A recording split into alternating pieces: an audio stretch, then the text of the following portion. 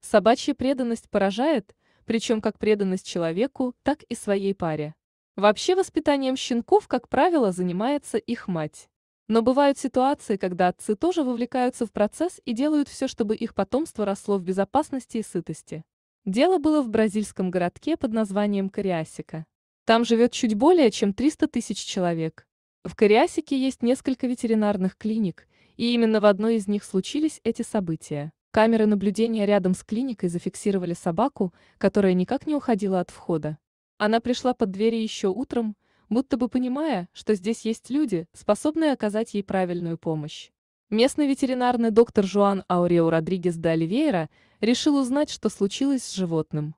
Осмотр показал, что собака находится на последних сроках беременности и уже готовится рожать. Амиго, именно так назвали животное в клинике, оказалось у докторов без хозяев. Вероятно, их у нее никогда и не было. Собака была без чипа и без ошейника. На столе ветеринара собака успешно родила шесть здоровых щенят. Но на этом удивительные события не закончились. Рядом с клиникой все эти часы сидела вторая собака.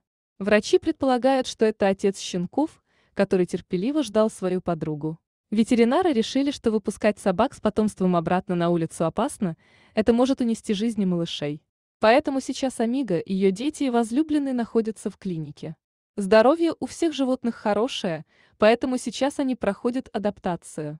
В перспективе всех собак собираются пристроить в добрые руки.